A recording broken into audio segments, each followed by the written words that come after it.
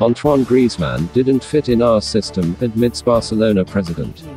The French forward has returned to Atletico Madrid on a season-long loan with an option to buy just two seasons after leaving the club for Barcelona in July 2019.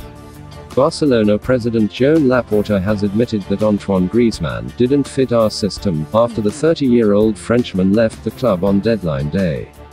Griezmann has returned to Atletico Madrid on a loan with an option to buy, just two years after leaving the club to join Barcelona in a £108 million deal in the summer of 2019.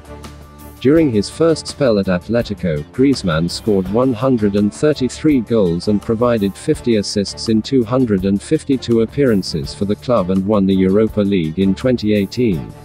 Laporta returned as Barcelona president to take on the position for a second time earlier this year when he replaced Josep Maria Bartomeu in March. Speaking to Onze, Laporta said that, I think that everyone was expecting more from him, because he gave everything and didn't have a questionable attitude. We know what kind of player he was and is, he's a great player. I think he didn't fit our system, but I think he showed a very good attitude. I sent him a message wishing him well, because he's always had the correct attitude.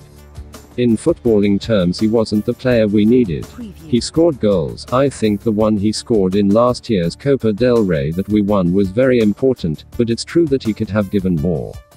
But he was under difficult circumstances. Don't forget to like and subscribe to the channel for up to date news from all around the globe. Thanks for watching, it was latest football news daily, have a nice one, and see you in a bit.